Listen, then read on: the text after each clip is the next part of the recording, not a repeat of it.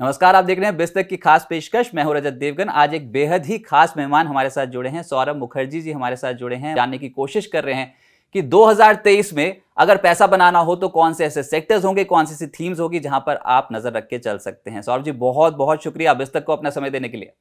Thank you मेरे को invite करने के लिए। आप लोगों का शुक्रगुजार हूँ।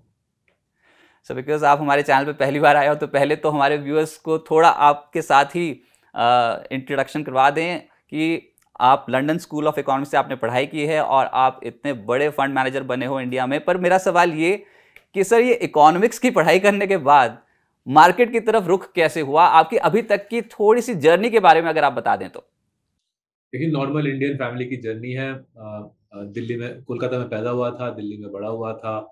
जब हम फोर्टीन के थे माँ बाप यूके माइग्रेट कर गए। वहाँ पे लंदन के सबब्स में नौकरी किया 16 साल की उम्र से नौकरी किया, स्कूल भी जाते थे। और करते करते जैसे आपने बोला एल पहुँच गए। एल छोड़ने के बाद चार साल कंसल्टेंसी की और फिर एक दोस्त ने समझाया कि सी एफ़ ए नाम की एक चीज़ होती है, वो करनी चाहिए। तो मैंने देखा सी एफ़ ए के वेबसाइट में जाके किताबें काफ़ी आसान लगी। तो सुबह के जो, सुबह शाम का जो जर्नी का कम्यूट था वर्क का जो कम्यूट था ट्रेन में सी एफ़ ए की किताबें पढ़ ली। और तीन साल बाद सी एफ़ ए पास करने के बाद उनको एक एनालिस्ट की नौकरी मिल गई लंदन में दैट वाज इन 2003 नवंबर तो 20 साल होने को आ रहे हैं 20 साल से यही कर रहे हैं रिसर्च कर रहे हैं, निवेश कर रहे हैं। पहले यूके में करते थे और 2008 साल से इंडिया में कर रहे हैं। पर सर, आपका जो इन्वेस्टमेंट स्टाइल है that is coffee can investing बहुत प्रचलित है। एक बार आप प्लीज़ उस पर बताएँ कि what is this method all about और इसमें से शेयर्स की आइडेंटिफिकेशन कैसे की जाती है? देखिए, ये हमारा खुद का स्टाइल नहीं होगा, मेरा बोलना कि हमारा स्टाइल थोड़ा गलत होगा। ड्रॉप करवी नाम के एक अमेरिकन इन्वेस्टर थे।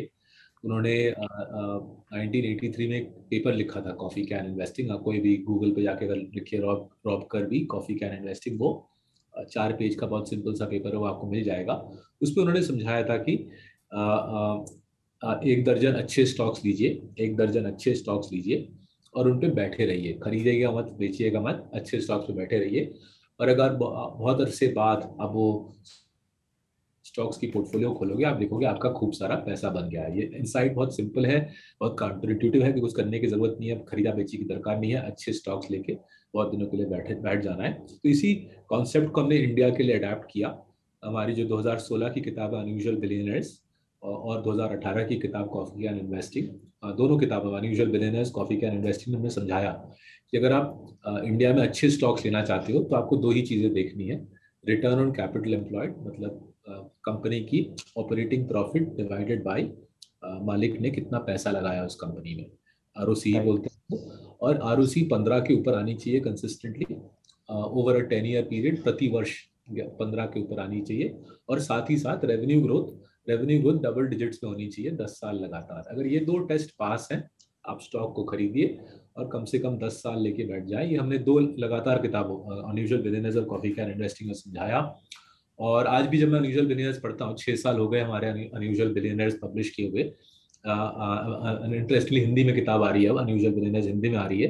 जब मैं अनयूजल बिलियनर्स पढ़ता हूँ, अभी भी ताजुब होता है कि इतना सिंपल स्टाइल से कितना पैसा बन सकता है। बट वही हकीकत है निवेश में जो सिंपल होता है वो सबसे इफ़ेक्टिव होता है। और धैर्य का बहुत बड़ा रोल है पेशेंस का बहुत बड़ा रोल है। जो इंसान शांति से पेशेंस से सिंपल तरीके से निवेश कर सकता है वो इंडिया में मोटा कमाता है। राइट right, बस ये होमवर्क करना और पेशेंस से किसी स्टॉक को होल्ड करना यही तो दो मुश्किल काम है शेयर बाज़ार में जो होते नहीं है। बहुत सिंपल सी चीज़ें लेकिन वो होती नहीं है। और वो सर 2022 में जब ये साल शुरू हुआ था तो उसके बाद तो दो हिचकोले देखे थे शेयर मार्केट में सब की हालत टाइट थी। अभी तक मिड कैप पोर्टफोलियोज में वो अभी तक ब्लीड कर रहे हैं। आ, साल अंत होते होते हमारे मार्केट्स ऑल टाइम हाई छू गए विदेशी मार्केट्स अभी तक नहीं छू पाए हैं। तो क्या ये ट्रेंड अभी आपको लगता है कि गोइंग फॉरवर्ड ऐसे ही कंटिन्यू होता हुआ नज़र आए? देखिए मैं ऑनेस्टली मार्केट लेवल पे ज़्यादा सोचता नहीं हूँ। मार्सलेस में हमारे 120 कोलीग्स हैं, किसी का भी दिमाग चलता नहीं कि मार्केट कहाँ जाएगी ज़ीरो फोकस हमारा मार्केट के ऊपर। रीजन फॉर दैट इज़ हमारे देश में मार्केट पे फोकस करके पैसा बनता नहीं है, क्योंकि मार्केट के अंदर काफ़ी इनएफिशिएंसी है, काफ़ी करप्ट कंपनीज़ भी है मार्केट के अंदर, और कुछ ऐसे गिने चुने कंपनी है जो एक्चुअली बाहुबली है, शानदार कंपनी है बट प्रमोटर जी बिल्कुल मुँह बंद रखते हैं। जो अच्छी कंपनी है, उसका प्रमोटर ज़्यादा बोलता नहीं है जो नालायक कंपनी है, उसका प्रमोटर बड़बड़ाता रहता है। उससे क्या होता है मार्केट बहुत इनएफिशिएंट बन जाता है। नालायक कंपनी का शेयर प्राइस ऊपर खिंच जाता है तो प्रमोटर पब्लिसिटी कराता है।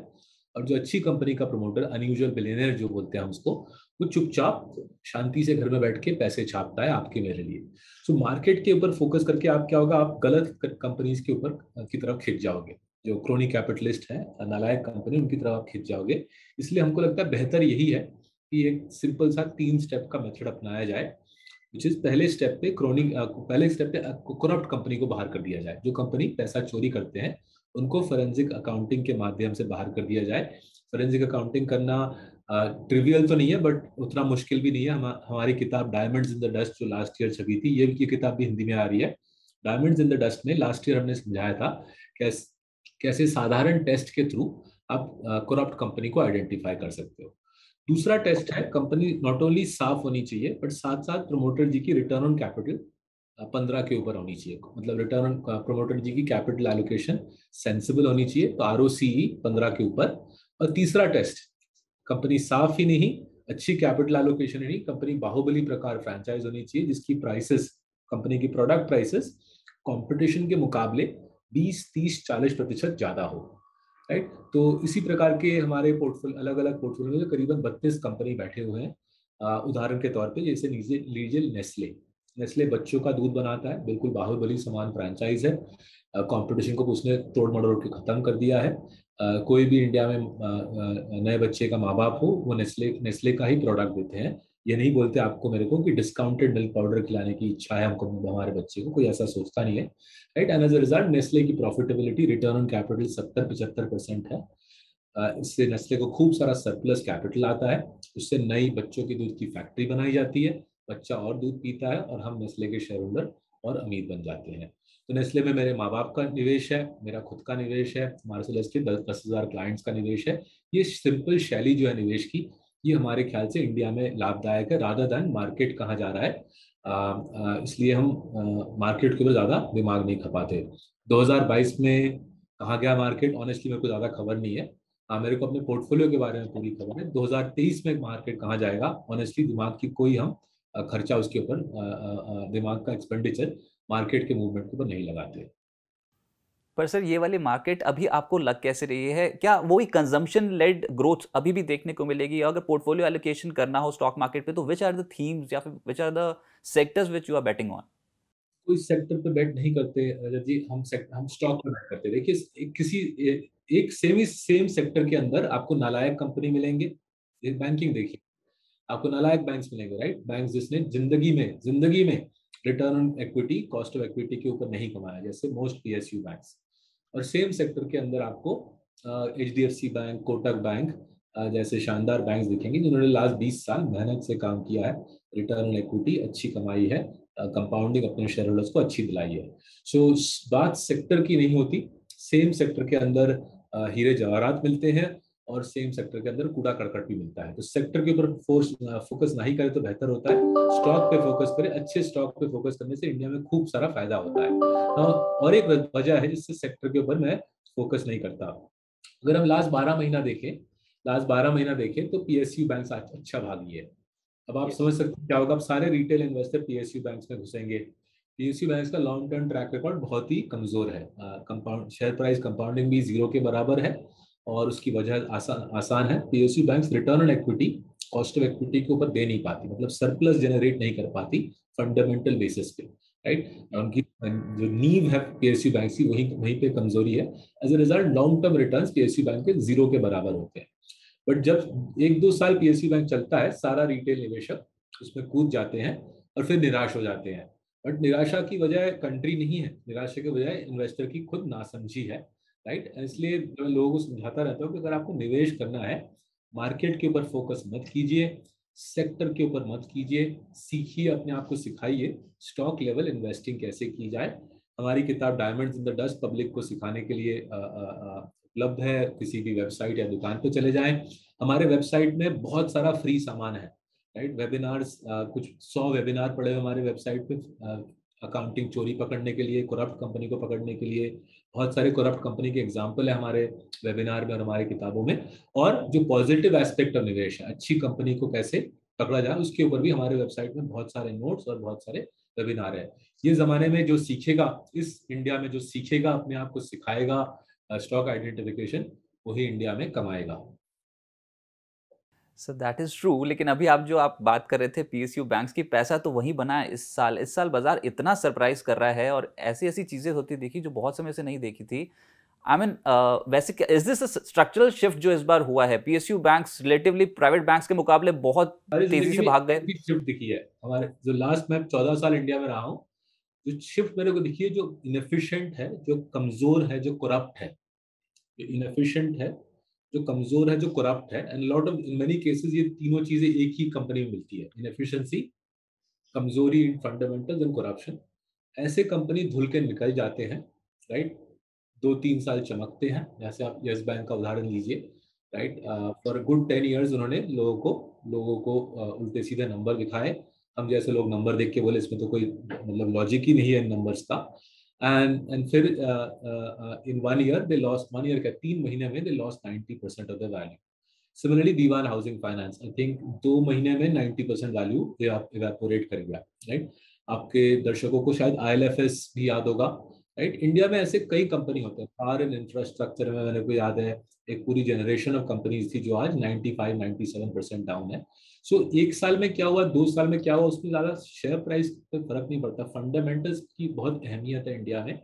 जो लास्ट चौदह साल की सीख है इंडिया की, हमारी, जो हमने सीखा है लास्ट चौदह साल में, कि करप्ट कमज़ोर और इनएफिशिएंट कंपनी में आप पैसा लगाओगे तो आपका पैसा तो यकीनन मैं आपको गारंटी से बोल सकता हूँ करप्ट कमज़ोर और इनएफिशिएंट कंपनी में आप पैसा लगाओगे, आपका सारा पैसा गायब हो जाएगा। अब वो किस दिन गायब होगा? जनवरी में गायब होगा या नवंबर में गायब होगा, वो मैं आपको फोरकास्ट नहीं दे सकता बट इतना बोल सकता हूँ, जहाँ पे भी हमको कमज़ोरी दिखती है फंडामेंटल्स में नंबर्स में शरारत दिखती है नोटीनेस दिखती है तो वहाँ पे अंत निश्चित आता है, कब आता है, उसका टाइमिंग हम कर नहीं सकते। सर, ये जो पैसा गायब होने वाली बात कह रहे हो आप, ये तो जो आई आए उसमें तो वैसे ही सुपड़ा साफ़ हो गया, ये हुआ कि अभी तक तो किसी को ये समझ में आ ही नहीं रहा है कि हुआ कैसे और क्यों?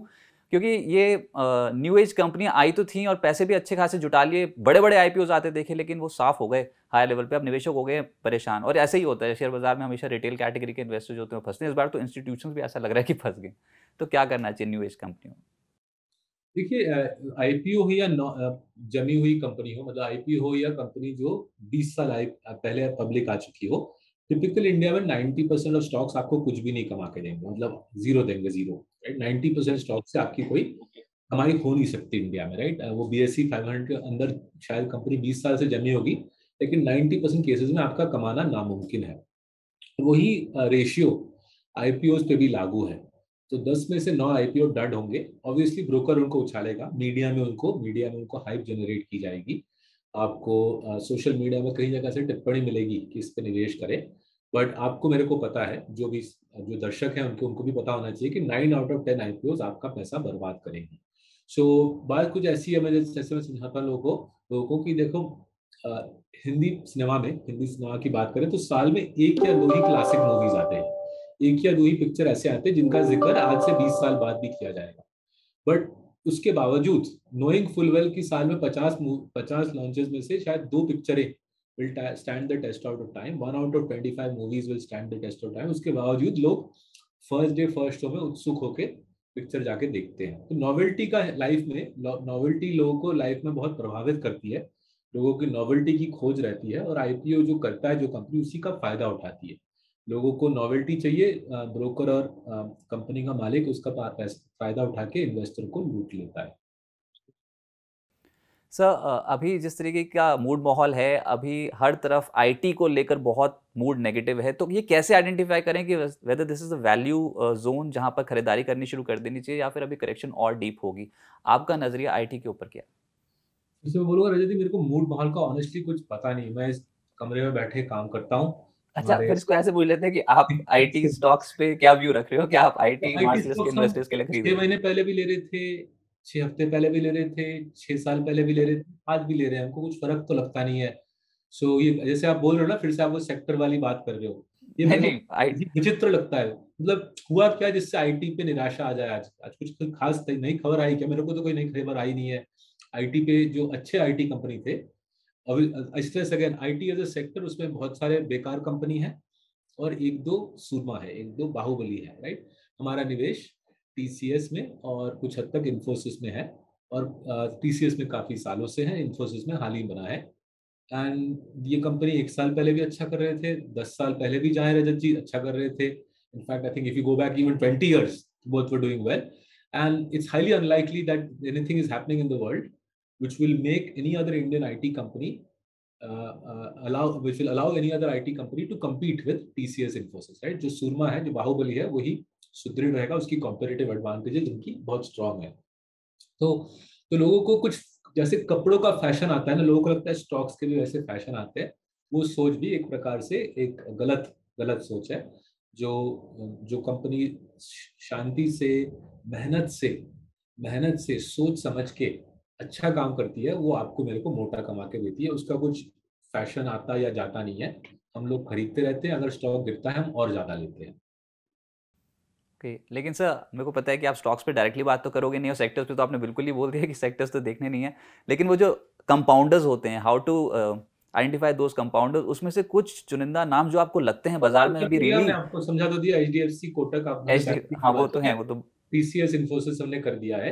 तो जो मैं बोलने की कोशिश कर रहा हूँ कि एक, एक मेहनत की एक मेहनत की प्रोसेस है राइट right? yes. मैं स्टॉक दे तो सकता हूँ हमारे वेबसाइट पे रिप्लीट है मार्सेलस डॉट इन पे जाए पूरा हमारा स्मॉल कैप पोर्टफोलियो डिस्प्लेड है फॉर द पब्लिक हमारा mid cap portfolio small cap portfolio का नाम है लिटिल चैम्प्स हमारे वेबसाइट में आपको पूरा पोर्टफोलियो दिख जाएगा फ्री ऑफ़ चार्ज कोई पैसा वैसा नहीं लेते हैं इसके लिए और मिड कैप पोर्टफोलियो का नाम है राइजिंग जाइंट्स वो भी आपको वेबसाइट में फ्री ऑफ़ चार्ज दिख जाएगा और consistent compounders is our flagship product जैसे आप बोल रहे थे तो जिसमें करीबन आठ हज़ार, नौ हज़ार कोड लगा हुआ है, वो भी आपको दिख जाएगा।